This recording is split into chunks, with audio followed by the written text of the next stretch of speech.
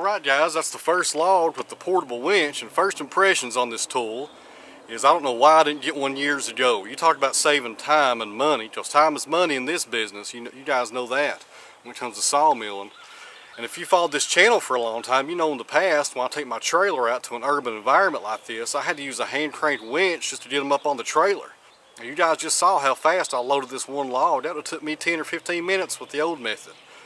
I just really wished I'd have got this years ago because this is just going to save me a lot of time. I can load four or five logs in a matter of probably 10 or 15 minutes. It used to take me a few hours sometimes. Now the only problem I ran into, and this is not a problem with the winch, is this is a dovetail trailer on the end. And It's got two metal ramps on the back.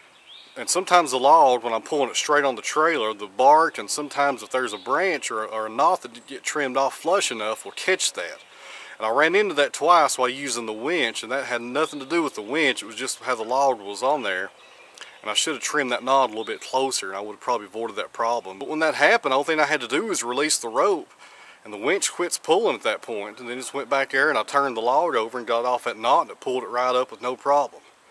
And I think that's one of the features I like best about this winch other than it being portable and not using a battery and being gas powered is the fact that you just have to pull a little bit on that rope, just a little bit of tension, pull it vertically and it causes that drum to kick in with the rope and whatever you're pulling starts getting pulled. And if you want to stop it for any reason you just have to release the tension on the rope. That's all you got to do is just drop the rope and you're good to go. That's a really good design right there.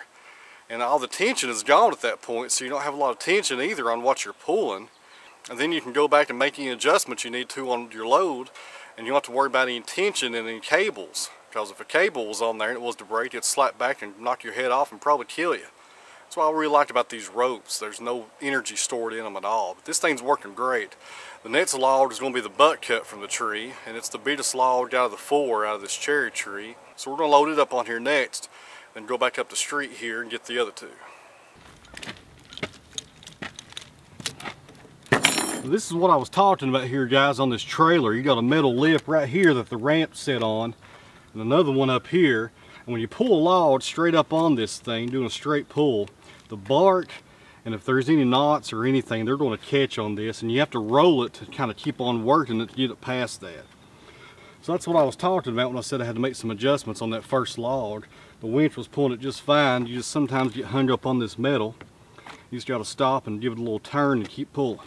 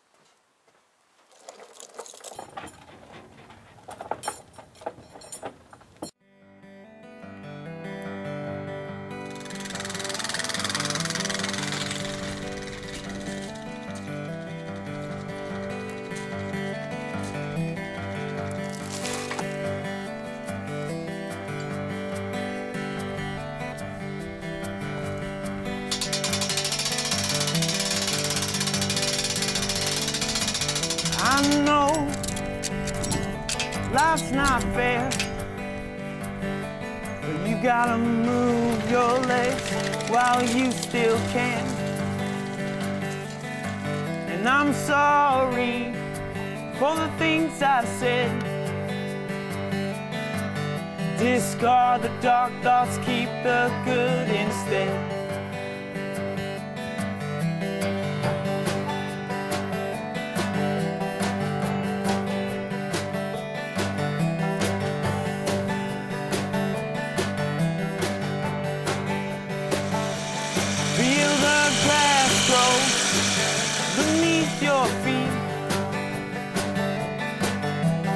older you shall return. Take only what you need. And one day, when your time ends, there will be